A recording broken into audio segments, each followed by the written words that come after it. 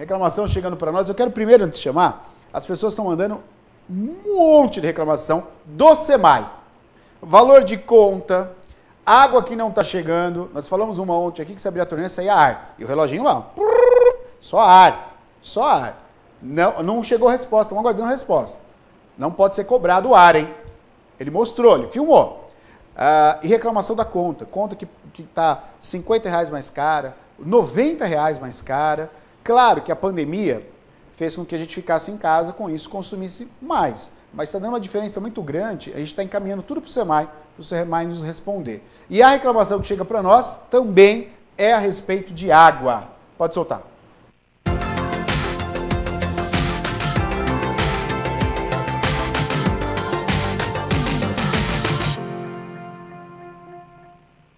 Aqui é a Maria de Fátima, do Recanto Universitário.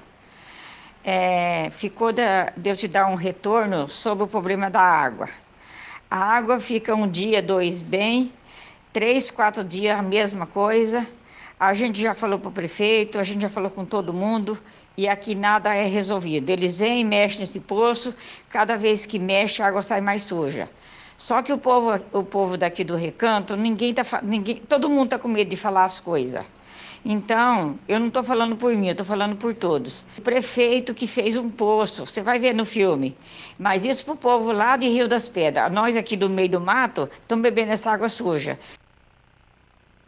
Ó, deixa eu retomar aqui. A, a reclamação do SEMAI está chegando, está sendo encaminhada. Nesse caso aqui, não é o SEMAI, é Rio das Pedras.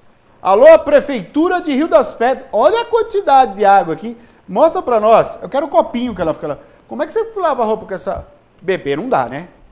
Parece um copo de Nescau que minha avó fazia. Ela colocava meia colher, daí fazia um Nescau assim, ó. Não é, né? Isso é água, Rio das Pedras, recanto universitário, não pode estar desse jeito. Não dá pra fazer nada, né? Tomar banho, vai, lavar vai, louça, escovar nada, o dente. Nada! Não dá pra fazer nada. Olha a cor da água. Você imagina isso aqui dentro de uma máquina de lavar? Vai pras cucuia a máquina de lavar. Vai quebrar a máquina de lavar. Essa é a qualidade da água em Rio das Pedras, recanto universitário, a reclamação que chega para nós. Olha aí a cor da água, meu povo. É do tanque. Como é que você lava roupa com isso daí? Como é que você lava roupa com isso daí, meu amigo? Olha, olha a cor da água. Alô, moradores de Rio das Pedras. Alô, prefeitura de Rio das Pedras. Parece que tem tinta na água, meu amigo. Que água é essa? Olha lá, já manchou tudo o ladrilho ali, manchou tudo. Ó, abre a torneira aí para nós. Você escova o dente nessa água? Fala para mim. Você bota essa água na boca?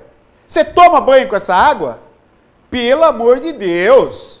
É o recanto universitário, mais um problema do bairro Recanto Universitário. Ó, a Ana entrou, né, Ana? A Ana entrou e tem resposta? Já não. Chegou, Maria, a resposta? A Maria vai ver se chegou a resposta. Nós cobramos a Prefeitura de Rio das Pedras.